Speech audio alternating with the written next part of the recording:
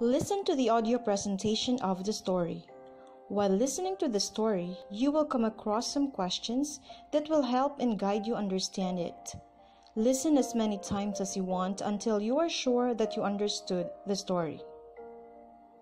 The Hands of the Blacks by Luis Bernardo Honwana I can't remember how we got onto the subject, but one day teacher said that the palms of the black hands were much lighter than the rest of their bodies because only few centuries ago they walked around on all fours like wild animals so their palms weren't exposed to the sun, which made the rest of their bodies darker and darker. I thought of this when Father Cristiano told us after catechism that we were absolutely hopeless, and that even the blacks were better than us.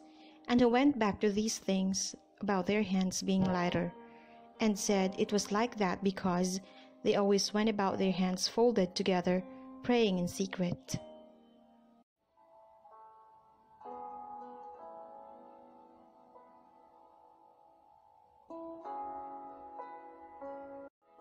I thought this was so funny, this thing of the black hands being so lighter, that you should see me now. I don't let go of anyone, whoever they are, until they tell me why they think that the palms of the black hands are lighter. Dona Doris, for instance, told me that God made their hands lighter like that so they wouldn't dirty the food that they made for their masters, or anything else that they were ordered to do that had to be kept quite clean.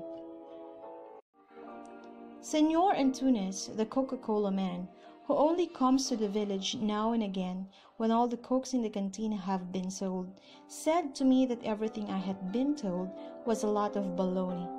Of course, I don't know if it was really, but he assured me it was. After I said yes, all right, it was baloney, then he told me what he knew about these things of the black's hands. It was like this. Long ago, many years ago, God, our Lord Jesus Christ, the Virgin Mary, Saint Peter, many other saints, all the angels were in heaven then, and some of the people who had died and gone to heaven. They all had a meeting and decided to make blacks. Do you know how? They got hold of some clay and pressed it into second-hand molds, and to make them of the creatures, they took them to heavenly kings. Because they were in a hurry and there was no room next to the fire, they hung them in the chimneys. Smoke, smoke, smoke, and there you have them, black as coals. And now, do you want to know why their hands stayed white? Because their hands are tied. When he had told me, Senor Antunes and the other men who were around us were very pleased, and then burst into laughing. That very same day, Senor Frias called me after Senor Antunes had gone away, and told me everything I had heard from them there had been just pack of lies. Really and truly, what he knew about the black's hands was right, that God finished making men and told them to bathe in the lake in heaven.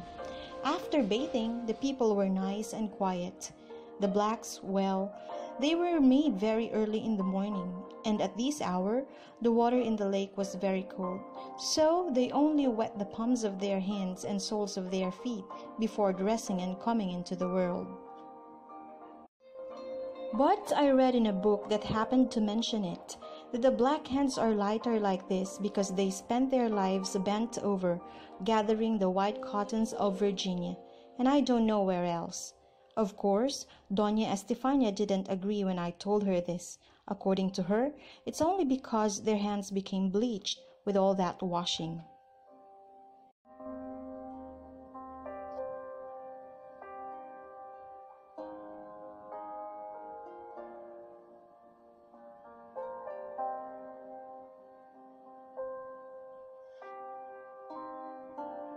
Well, I don't know what to think about all these, but the truth is that no matter how calloused and cracked they may be, a black's hands are always lighter than the rest of him. And that's that. My mother is the only one who must be right about this question of a black's hands being lighter than the rest of his body. On the day that we were talking about it, I was telling her what I knew about the question, and she just couldn't stop laughing.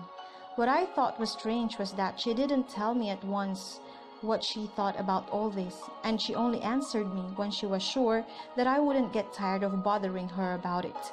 And even then she was crying and clutching herself around the stomach, who had laughed so much that it was quite unbearable. What she said was more or less this God made blacks because they had to be.